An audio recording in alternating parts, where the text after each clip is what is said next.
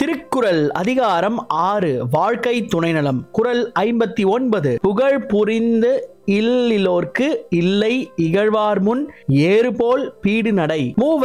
விளக்கம் புகழை காக்க விரும்பும் மனைவி இல்லாதவர்க்கு இகழ்ந்து பேசும் பகைவர் முன் காலை போல் நடக்கும் பெருமித நடை இல்லை சாலமன் பாப்பையா விளக்கம் புகழை விரும்பிய மனைவியை பெறாதவர்க்கு அவர்களை ஏளனம் செய்வார் முன்னே ஆண் சிங்கமாய் நடக்கும் பெருமித நடையில்லை கலைஞர் விளக்கம் புகழுக்குரிய இல்வாழ்க்கை அமையாதவர்கள் தம்மை அழித்து பேசுவோர் முன்பு தலை நிமிர்ந்து நடக்க முடியாமல் குன்றி போய் விடுவார்கள் Thirukkural in English chapter six a good life partner Kural fifty nine meaning those who don't have respectable family life will not be able to straight with line like fried before their opponents